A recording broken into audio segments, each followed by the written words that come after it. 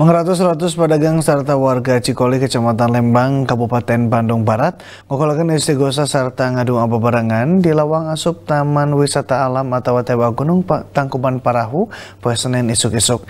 Itu halte dilakukan sangkan pedagang bisa daragang di Gunung Tangkuban Parahu, Kawasasari.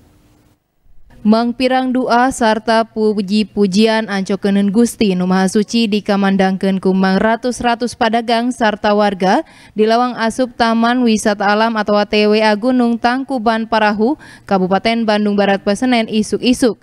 Eta hal teh dilakonan sangkan Gunung Tangkuban Parahu bisa normal deui serta padagang bisa nambangan kawasasari di lelewak wisata Gunung Tangkuban Parahu. Umat semakin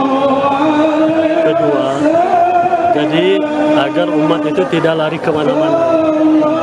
Hanya beliau mereka itu bertawakal saja kepada Allah Subhanahu Wa Taala. Ya kalau pedagang sih inginnya ini normal kembali gitu. Uh, terus kami bisa aktivitas kembali, uh, bisa aman, nyaman, tentram, dan sejahtera. Karena warga uh, ini seluruh pedagang yang di sini. Uh, harapannya semoga cepat aman kembali, kondisif kembali. Jadi kami mengharapkan bisa berjualan lagi. Algi Muhammad Gifari, Bandung TV.